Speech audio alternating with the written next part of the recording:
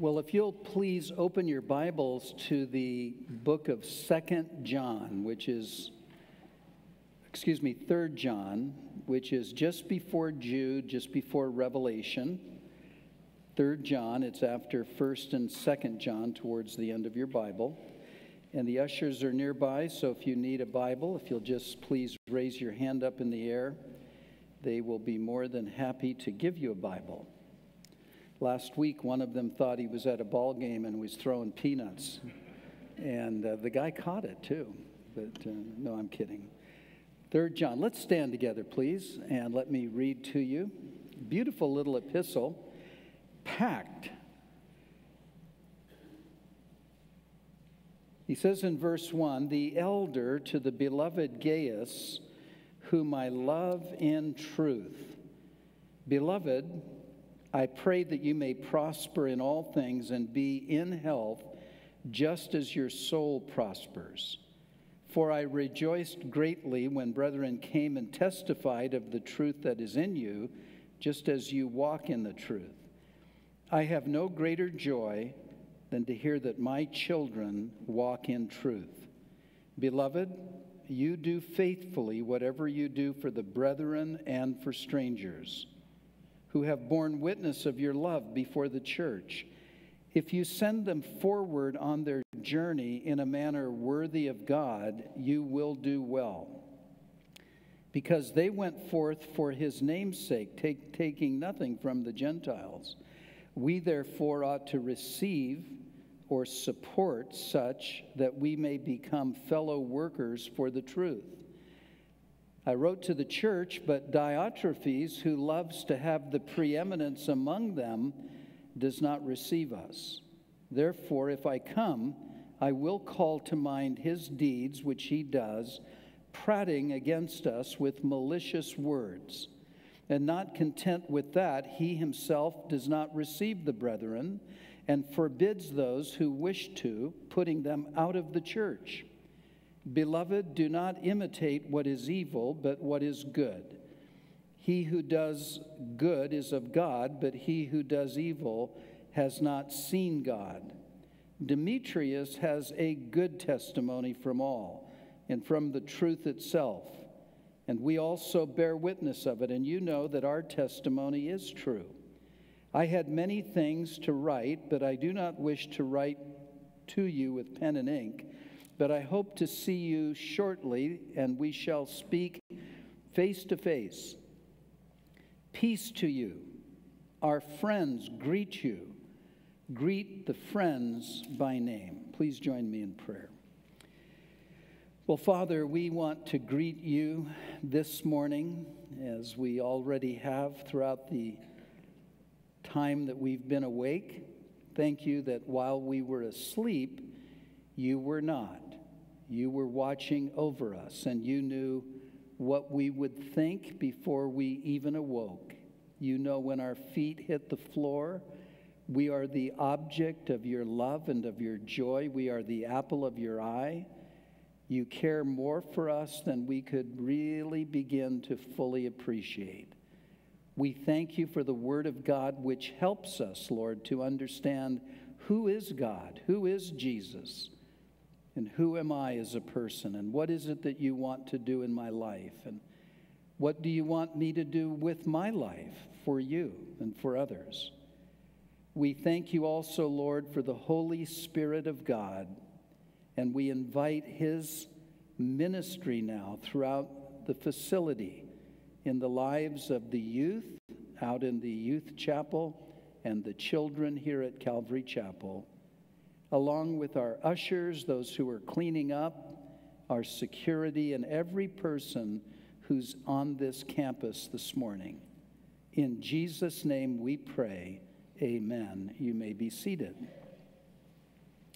Just a few questions to consider before we get into the text. One of those would be if you were to put in a sentence or two how would you describe yourself right now in your life? Or how would you describe what you would like to become? And how do you think other people would describe you? What, if anything, you don't want to have in your life right now?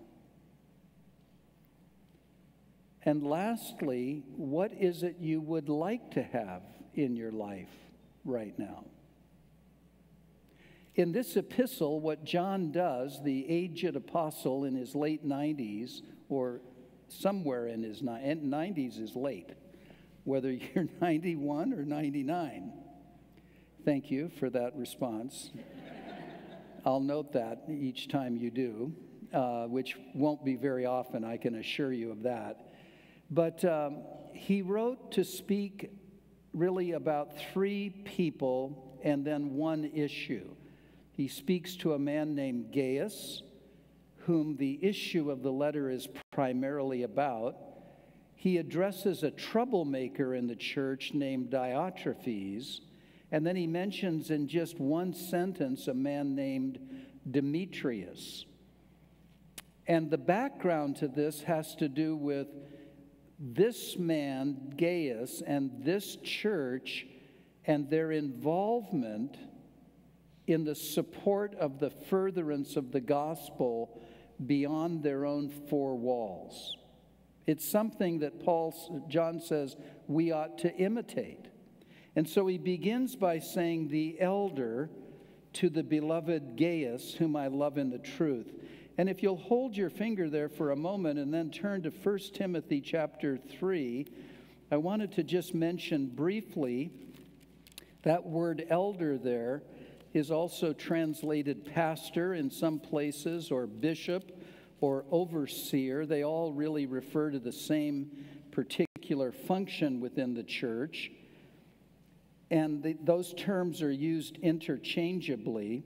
But the elder is the principal office holder in a local church, a person who was called and gifted by the Holy Spirit, recognized by other elders, and qualified according to the standards that you find here in 1 Timothy chapter 3. The duties of a pastor, an elder, an overseer include ruling the church, pastoring or shepherding the flock, guarding the truth, and general oversight of the work, including finances. And so when John writes, he's writing from a position of uh, authority. Not only was he an elder, but he was a, one of the apostles, the only one who died of natural causes. But the other thing that I wanted to say about elders in the church is sometimes that term can be a little um, perhaps intimidating to uh, men in particular. And as we have recently launched our men's ministry and had somewhere around 90 men at our first meeting, uh, and then the quote elders broke that group up into individual smaller groups. But just to say to you, these men are just ordinary guys. Like Paul said in 1 Corinthians chapter 1, look among yourselves. There aren't many great, many noble, but we're just common people. The fact is that these men are just like you. They put their shoes on uh, one at a time, their pants on. They, they are subject to the same challenges you are. The, the, maybe the difference or the similarity, as the case may be, is that they have grown to a level of maturity within the body. They've demonstrated their giftedness. They've been recognized by others as being qualified to be in this position. And their desire is to really just come alongside of you as an ordinary guy dealing with ordinary men and together serving a extraordinary singular person, the Lord Jesus Christ, who wants to transform all of us from our ordinary life into a spirit filled, mature, Christian, effective life. So it's really a family matter.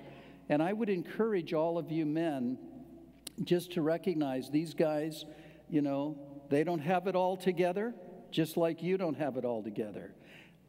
I don't have it all together. The only one here is Pastor Mike. Okay, so that's what, at least that's what he told me the other day. And I said, Well, if you say so. No, he didn't. But we're all just common people. We're all dealing with the same issues. But nonetheless, there is this position of authority and leadership. And John opens the letter by introducing himself, and he says, The elder. And he was so loved. He was, in fact, he even stated in the Gospel of John, which he wrote, he said, I'm the one that Jesus loved. And it shows his imperfectness. He had to kind of throw that in there, you know. I don't know if you know the whole story behind that, but someday you might. And then he introduces us to the first person he's writing to, the main person here. He says, To the beloved Gaius, whom I love in truth. That word truth is mentioned six times in the 14 verses in this brief letter. He says, I love you. He says, You're beloved, and, and I love you in truth. And then he calls him beloved again in verse 2, and he, he begins to pray for him now in three different ways. He says, I pray first of all that you may prosper, just a general uh, term that you, may, that you might just prosper um, in every part of your life, just that you might do well. And then, secondly, he actually says, I, I pray that you may prosper in all things, in all of the things that you're doing. And he's going to really focus in on one of the main things that this guy did in a few moments. But in everything you're doing, I pray that you may prosper. And you know, you can pray that same prayer for yourself. You can say, Lord, I'm asking that you might prosper me in my life. Secondly, he prayed that he would be in good health. It's quite possible that Gaius was not in good health, or it may be that John was just affirming, hey, I hope you will continue to be in good health. We really don't know, but it's just as valid to pray for your physical well being as it is to pray for any other part of your life. We all have to deal with our physical um, matters, especially and I, I'm told this, I don't know it personally, but I'm told I read a lot of books about older people, and uh, that's why I'm mentioning it to you. you see, I told you earlier. And then, thirdly, he says, and this is now the, the kind of measure, it's not necessarily a prayer, it's more an affirmation and a, a kind of a measuring stick for the first and possibly more the second part of his prayer, he says, just as your soul prospers. So he really had that as the primary thing that was important to him, just as your soul prospers. So I'm praying that you just prosper. And I'm praying that you are in good health. You can pray those things. And then I would ask you this question today. In that description of yourself, if you've thought it through, would you be able to say, you know, today my soul is prospering in the Lord, or it's beginning to prosper, or it used to, but I'm trying to get it prospering again, or I desire to have a prosperous relationship with God? This man had one.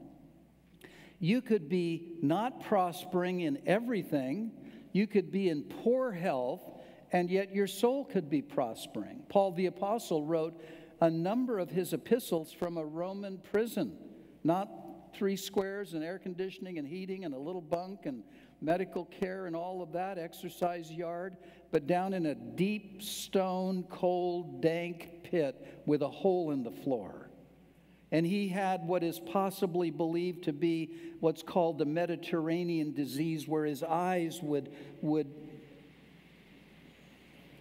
haven't heard that on this roof for a long time.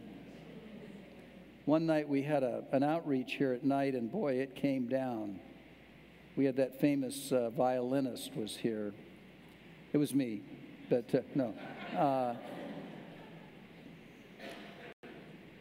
40 days and 40 nights. I hope we got the, everything closed up here. So here's Paul, this Mediterranean disease, believed that his eyes would ooze this you know, substance.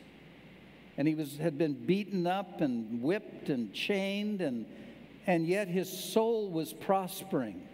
So you can either be prospering and in good health and your soul's prospering, or you may not be prospering. You may be unhealthy, but you can prosper spiritually.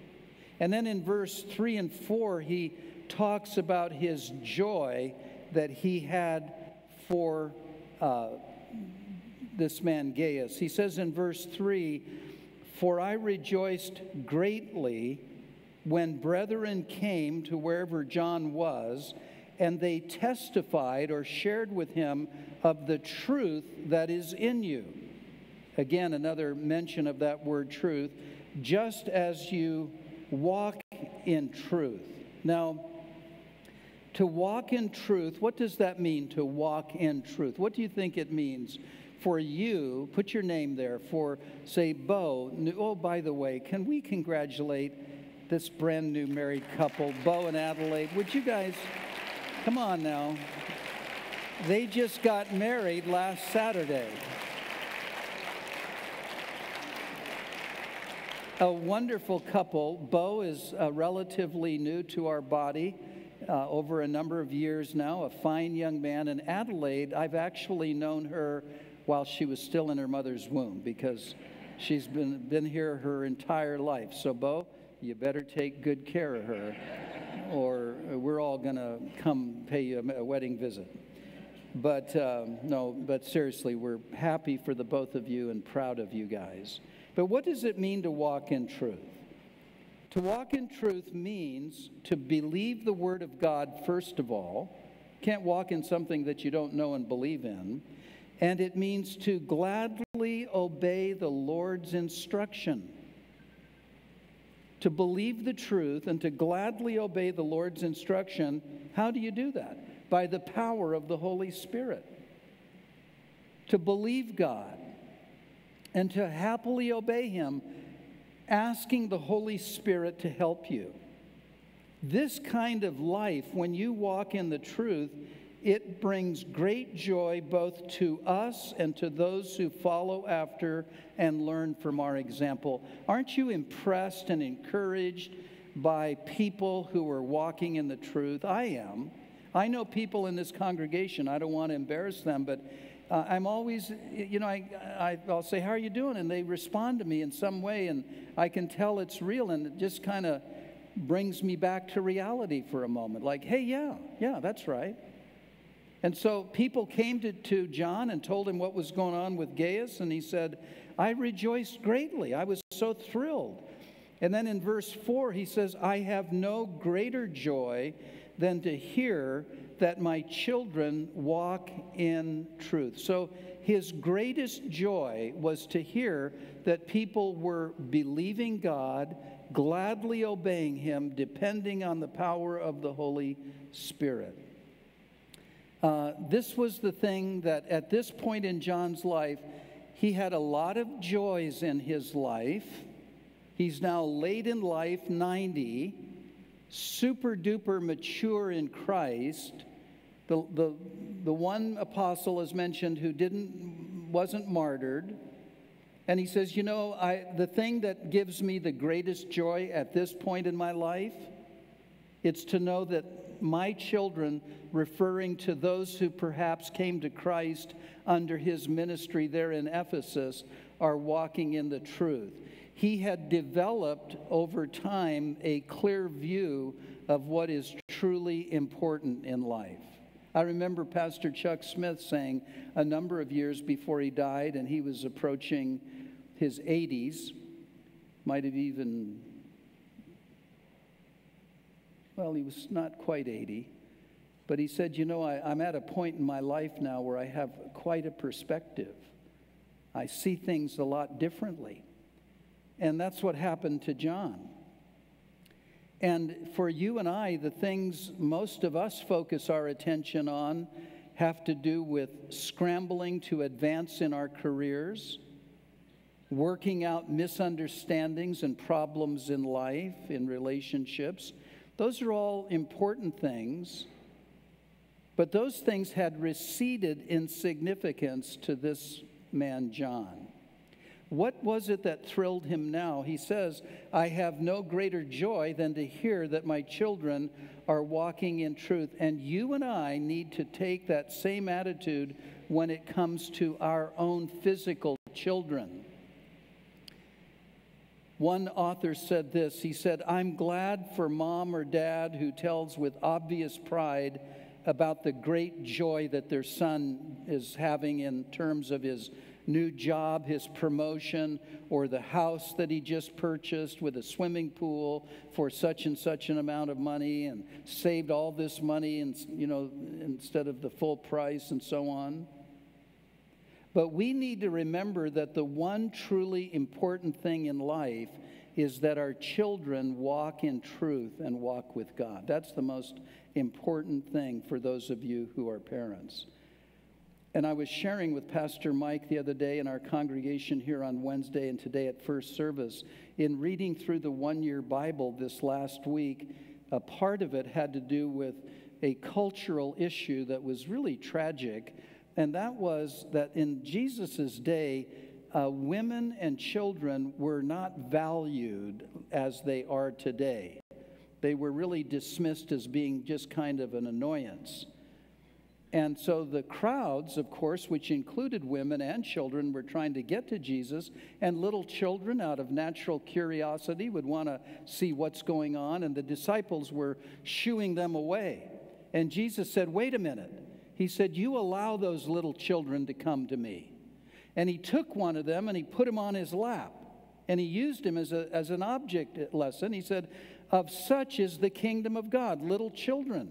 Now, uh, I'm not sure exactly all that he meant by that, but he did say, in order to come into the kingdom of God, you have to become like a little child, a simple faith to come into the kingdom of God. And then a few verses later, he said something very alarming, which reveals the heart of God towards children and towards people who would harm them. And it leads me to something I want to talk with you about for just a couple of minutes, in a minute. He said, If anyone harms these little children, they're going to be executed and they're going to suffer. And he said, Let me tell you, it would be better for them to be executed by having a millstone tied around their neck than what I'm going to do to them. A millstone was a large circular rock, like a big, thick silver dollar, only real thick, with a hole in the middle and they would roll it around to crush the grain. And what they would do as a form of execution is take ropes and chains and put it through that hole and wrap your body around it and put it on the edge of a cliff into the ocean or just a rocky cavern, you know, a, a rocky valley, and they would throw you off. Can you imagine the horror in your mind of your, that rock's going down faster than you are? It's pulling you down like a lead balloon kind of thing. So uh, when I was reading that, I thought, boy, the Lord really doesn't want, He values these little children, and He doesn't want anybody to hurt them. And I was thinking then of the children that exist today in our society and what they are facing, which you and I as adults didn't face when we were little children. The world is a very dangerous and growing by the minute evil place to live in. And so we as a church want to be able to build on the current children's ministry that we have as we're in a rebuilding process by providing a ministry that is not only meaningful and enjoyable and Christ centered, Bible teaching to our children, but also provides content for the parents to be able to minister to their kids. Um, my children now, at their adult age, tell me, Dad, I now understand why you wanted us to read the Bible every morning. I mean, they're, they're you know, thank you, 48 years old. You know, I'm good, good to hear you say that, but, um, but they're getting it. But you know, the, the program that we're, we're talking about, and Pastor Mike is going to go up and with a team and look at it, it's a program that has a connection between Sunday morning and Wednesday night. So they're not two different things. There's some continuity between it. And we're looking at ministering to the children, and not that we've, and it's odd, you know, we, we minister to 300 children a week outside of our church. And we don't even have close to that amount in our church, not even close. But we anticipate that they're going to be coming. And so we're going to start with whatever we've got in anticipation of the Lord bringing them and believing that God is speaking to us in our hearts about the needs those children have, and we want to minister to them and minister to their parents. So, Pastor Mike is going to go look at a, a ministry that we formerly have had and revisit it called the Calvary Kids Club. And it's a beautiful little ministry. And we're going to begin by bathing that in prayer. And we know that prayer is at the foundation of the Lord directing us, modifying our thoughts, closing doors, opening doors. So we're very, very, very enthused about what God is going to do here. And I just want to pass that on to you and encourage you to be. And, and of course, if you're a parent, you know it doesn't matter what your child does for a living. What makes you the happiest is what? If they're walking with Christ. That's really the main thing, you know. You want them to do well in every way, but if they're walking with the Lord, that's what counts. And so now in verse 5, what happens is John begins to really identify the, the ministry that this man Gaius had, and it was his generous treatment of traveling ministers. And let me give you a little bit of cultural background again. You know, today, when a traveling minister comes here, he, he or she comes here usually at our invitation or at their request. And we plan it out we know them etc and we don't just we occasionally have people who call us who we don't know and they say hey can we come and have a minute? You know and we think about it but usually it's people we know. Back then genuine ministers of God would just travel freely, unannounced. There was no cell phone texting, no phone calls, no computers, no advance warning of anything. People would just go from little town to little town. They'd show up and say, Hi, I'm. You know, I'm so and so, and I'm a, a minister of the gospel of Jesus Christ. And, and so, what Gaius did uh, was he really got behind helping these people. He was so generous. And so uh, John is commending him. He says in verse 5 Beloved, you do faithfully whatever you do for the brethren, and especially for strangers. He said, I want to commend you. You are so faithful in what you're doing for these people.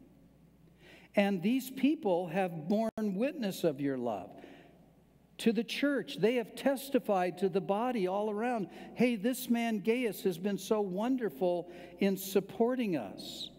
And then he defines it a little more. He said, if you send them forward on their journey in a manner worthy of God, you do well. He said, um, that's one of the things he was doing. He was helping them to move forward on their journey. He would help them when they arrived with food. He would no doubt give them food for the journey. He would give them money. He would make arrangements, perhaps, for hospitality companions or people to go with them a little bit, or maybe arrange means of travel for these people. And then he says in verse 7 because they went forth for his name's sake. Now, not everybody in ministry goes forth for his name's sake. But these people did. They weren't in it to promote themselves, they were going forth, leaving behind a career, leaving behind what you and I might call a normal life. And not everybody is called to this, but they were. And they went forth and they did it for his name's sake. They were representatives of Jesus Christ, they were serving the Lord. And you'll notice in the last part of verse 7 taking nothing from the Gentiles, the unsaved people. In other words, they, they were only supported by churches and individuals. And when they would go to a new area to minister, they would not take money. Paul himself in 1 Thessalonians chapter 2 said, You know how we labored night and day when we were there. We didn't take anything from you. Um, because what also happened is fake in it for the money ministers, fake news ministers, would go from town to town. I'm sorry. They would go from town to town. I just fake, you know, it's current lingo. We're not going there, okay? Unless you want to, but no, we're not going there. But they would go and they'd say, hey, I'm so and so, and it's all great. But they were really in it for the money. They were scammers, scam artists. And so what would happen is they gave a bad name to the Christian gospel, which was just beginning like molasses to spread. And so, what these people would do is they would be supported by believers, and when they went somewhere, they would specifically not take money. They would serve the people, love the people at their own expense so as to gain their trust. Hey, we're not here to take from you, we are here to give to you. And without embarrassing anybody here, when we have teams that go places, the majority of the time, those team members pay for their own expenses to go. Sometimes we supplement that, but they take their own money to go somewhere. And when they go, like to Belize or uh, different locations, they don't go to ask for money, they go to give. When we go to pastors' conferences and teach at pastors' conferences, we don't receive any money. When I used to go to Japan a lot, I can tell you I got trapped into something in my mind. You go to Japan, they, they not only want to give you financial gifts, they want to give you like tons of money. They're just, they're extremely generous. And I'd been there a few times, and I thought, man, these, you know, gosh, they're just, they just give you all this money. I thought, I, I like going to Japan. And I can remember a couple times I thought, I'm going to figure out how I can go to Japan a couple times this year. I really did. And I was now caught in this what's in it for me thing. And so he's saying, look, they went forth for the Lord, taking nothing from the Gentiles. They, they aren't supported by uh, pagans. And if you'll bear, bear with me in my folly for a moment, as Paul said in 2 Corinthians chapter 12. You know, recently we were accused of that the church was paying for all of our legal expenses in this matter that is now over. Well, that was true in one regard, but what was not mentioned is that my wife and I have taken every penny we've had in our retirement account and we've put most of that back into the church to pay for those expenses. Plus, Gail and I, well, plus Gail and I, uh, five, six, seven years ago, took a 60% pay cut in retirement benefits, everything. So we wouldn't have to lay people off here in the church. And we did it joyful. In fact, the board, it's one of the only times the board said no, and I said no. It's my decision. I can it's my money. I can do what I want. So there. No. Because uh, we get along real well as a board. And but but one of the things that also has happened to us, even though we're giving this money, we kind of stopped tithing, even though we were giving far more than a tithe. And we recently have begun tithing again. And what a joy it is to do that. It's, it's a real joy to, it's, a, it's an absolute joy. It's an act of worship. And, and I'm just being, you know, very transparent with you and right from the scriptures here and encouraging you. Uh, we, are, we are supporting Victor Marks once a month for $100. He's in Mosul, Iraq, right now on the news where the ISIS has been using chemical weapons against those people. He's right there in that area of western Iraq. His life is on the line.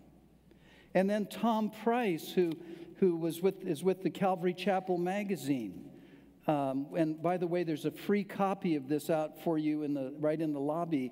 Uh, it's Reaching the World for Christ. He's the editor of this magazine, a good friend of mine, and we've known each other for years. Um, and in fact, a little story about him many years ago, before he even started this, when we were in Hungary, where they don't give you money when you preach. Didn't ask to go back there. No, I did.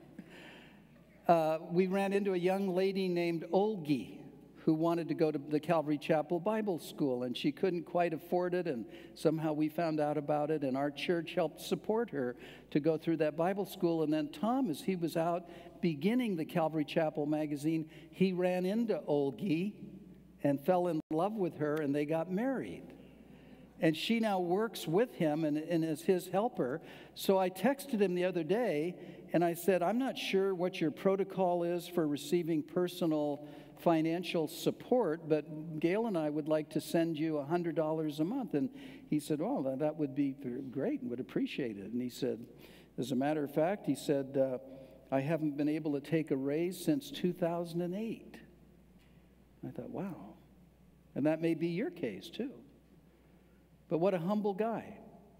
And then um, I took the initiative to ask our accounting department to also send $100 a month to um, Victor and $100 a month to Tom, and then our board uh, will ratify that here in the next month or so. But that's what John was talking about, about supporting these people. And this magazine, it occurred to me through Tom's visit here, and not because he was pushing this magazine but it's a window to the world of missions within our Calvary Chapel family. In fact, their next issue in April, May, uh, we will be on the front of this. And they're doing two parts. One is the rejoice in reconciliation matter that has, occurred, and two, an article on our church. And so this magazine will go all around the world, and I'm finally going to be famous instead of infamous, which I've been for a long time. In verse 8, he says, We therefore ought to receive such that we may become fellow workers for the truth. He's saying, Gaius, we ought to receive these missionaries so we can become, notice, fellow workers for the church. One of the things I want to pray about just mentioned at first service, Mike doesn't know this, our board doesn't know it, and we're not going to do it till we get approval from the board. Is this I would like to take the largest Wednesday night offering of each month, which is usually either the last offering of the month on Wednesday or the first Wednesday of the month. It's usually the largest of all the Wednesdays and make that a missionary offering. And I don't want that to keep you from personally supporting people, but we'd like to take that money and divvy it up and send it out to the missionaries that we support. They need help. They're and, and it's, you know, they are happy to be out there, but they need love. They need support. He's saying here, we therefore ought to receive such that we may become fellow workers for the truth. And we would like to take what that what the Lord said in Malachi chapter 3, verse 10, try me now in this and see if I won't open the windows of heaven for you and pour out such a blessing on you that there isn't enough room to receive it. Do you know there was a point in the Old Testament when David was building the temple and they'd been receiving offerings, and finally the guys that received the offerings to build the temple said, David, they're giving too much money. That can happen in a church. It's happened in our church where there's been an abundance of it. But what a wonderful era of rebuilding that we're in. Well, now in verse 9, uh, John deals with this troublemaker. And there are troublemakers in every church. He said, I wrote to the church, probably the Ephesian church, but Diotrephes, and nothing much is known of him other than what is said here. He could have been the pastor, I don't think he was, but he was a person in the church. But here's what's said of him he loves to have the preeminence among them. And he does not receive us. So you have to stop and think. Here's the Apostle John writing to the church, and we don't know what the content was, but it implied here is that he wanted to come. And this Diotrephes, who likes to be the big shot, wouldn't receive us. Wouldn't receive the Apostle John? Verse 10, John tells us about his selfish activities and what he was going to do once he arrived there if he did. He says, Therefore, if I come, here's what I'm going to do I will call to mind his deeds. In other words, I'm going to bring up in public what this, or, you know, in whatever meeting needs to be, I will call to mind his deeds which he does. I'm going to deal with it straight on. And that's how a troublemaker should be dealt with with prayer and just straightforwardly in love, not to, not to punish, not to hurt, but to restore, and to do it in love and to do it clearly. His deeds, which he does, prating, and the word prating there means talking nonsense. He's just full of nonsense. He's prating against us with malicious words, words designed to hurt and not only that, and not content with that, as if that was enough, he himself does not receive the brethren. It's the second thing. And thirdly, he forbids those who wish to. There were others in the church who said, Oh, yeah, can, can John come? No. And then he puts those people out of the church. He excommunicated the people who wanted to help John and visiting ministers. And then John says in verse 11, Beloved, do not imitate what is evil. Don't follow that guy's example. But what is good? Follow Gaius's example. He who does good is of God. He who does evil has not seen God. You know, we become what we focus on the most. If we constantly concentrate on negative things, we will likewise become pessimistic and destructive. If we focus on sinful things, we will give the enemy a stronghold and we will stumble in our faith.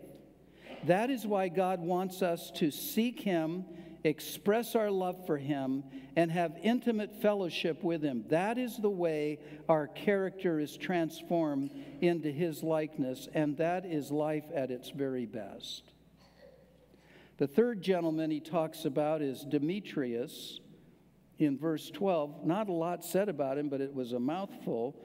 He says he has a good testimony, he's got a good reputation. That's a lot.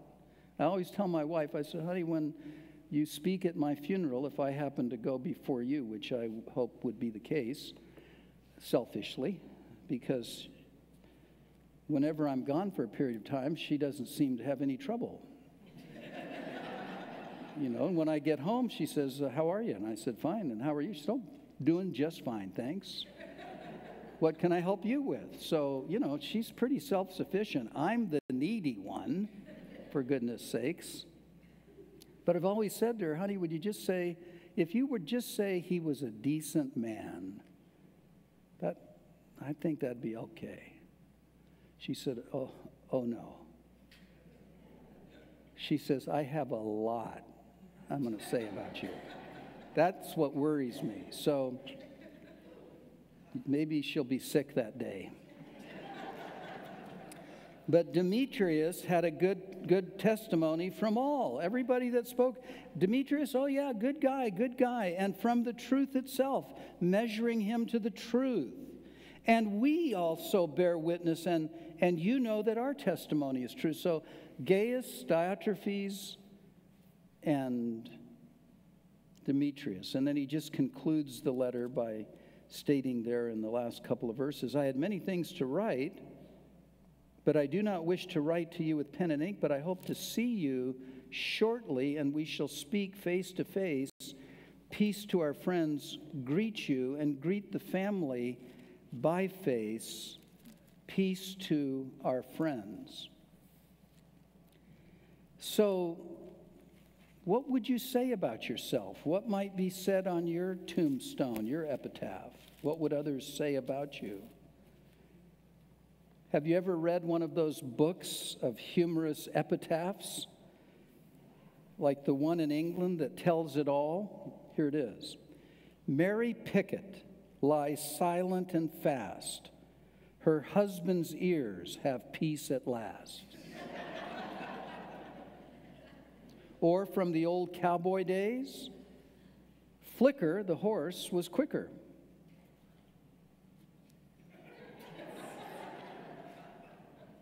Actually, the thing about even humorous epitaphs is that most do say something about the character of the person they memorialize. Something stands out, something that folks remember. In a sense, John suggested a theme for the epitaphs of two leading individuals in that first century Christian community there in Asia. One, Diotrephes, who was marked off as loving first place. He gossiped, trying to make others look small so he'd look bigger by comparison. And he tried to dominate his little group by cutting off any contact they may have with others. Someone might have written something like this on his tombstone Diotrephes, who cut down others, things are better now he's not around. The great English preacher Charles Spurgeon said, A man who will not do well in his present place because he longs to be higher is already too high and should be put lower. The self seeking and self important Diotrephes heads a long line of people who never learned to distinguish between love for Christ and love for their place in the church.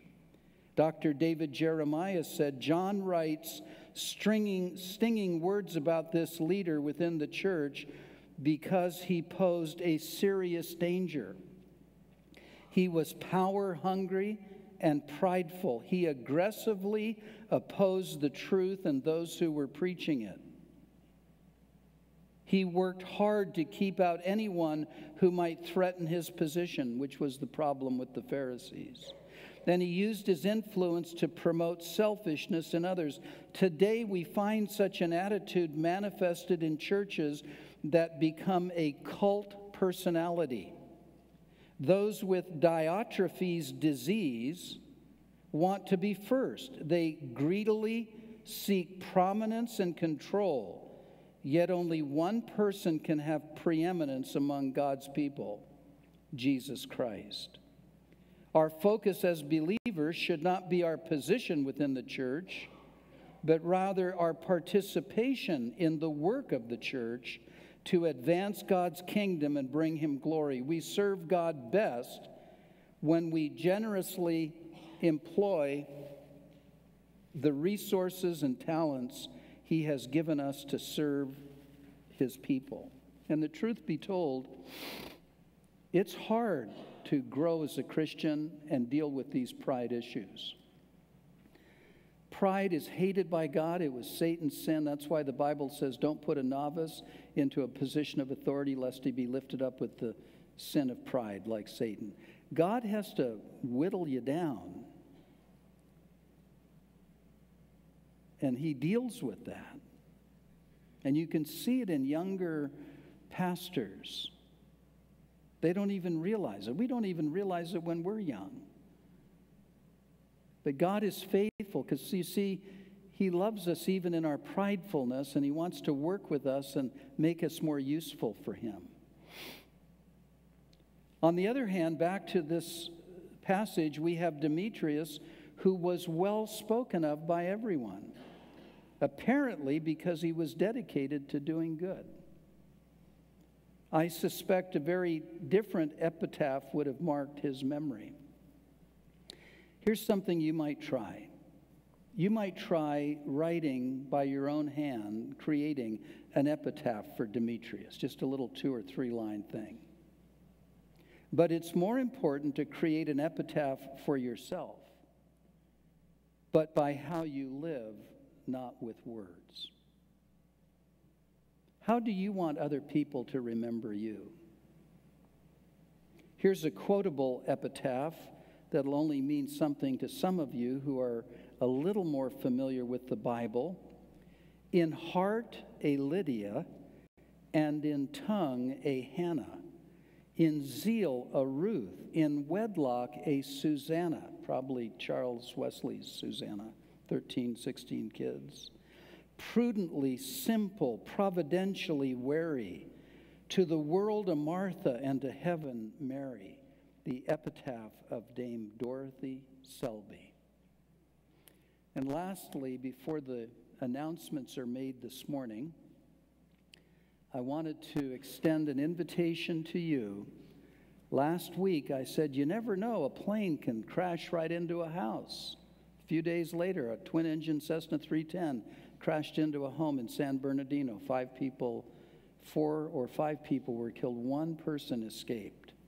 I think it was four people killed, one escaped. How hard her life's going to be. If you're not a believer, today, the Bible says, is the day for you to repent and to be saved. You see, you're headed on your way to eternal judgment. That's what the Bible says. It is appointed for man to, to die once, and then comes the judgment. You'll face God whether you like it or not. God doesn't want you to stand before Him at the judgment seat, at the judgment, the great white throne judgment. He wants you to be saved. You can't be saved after you die. You can't say, wait a minute, I, I need to rethink this. It's now. And the, the, the, false sense of security that we have about, well, yeah, later, especially young people. There's so many things I want to do. I, I you know, a Christian life, man, you got to give this up and give that up. Well, you wait till you do if you get to do all the things that you think are so much fun and you're going to find out they're not. Sin is pleasurable only for a season. And then you will find yourself more empty than you knew empty could be. But the biggest problem you have is sin. It's cut you off from God. Jesus Christ is the bridge. You have to walk to Him to get saved. And you can do that just while I'm talking to you. You can say, Lord Jesus, I'm a sinner. I believe you died for my sins. You were buried, you rose from the dead, and I'm asking you to save me today. I'm asking you to come into my life. And you know what? Jesus said, Whoever, and one of the things that keeps people from coming to Christ along with pride is guilt. You may be thinking, I've been so bad. God certainly couldn't save me. You're wrong. His death was for every sin. I don't care how bad yours was or is. You come to Jesus today. With that said, let's have the announcements. Uh, Mike, I'm not sure who's doing the announcements this morning. That would be Justin, who leads our college ministry. Could we welcome Justin Milanich, please?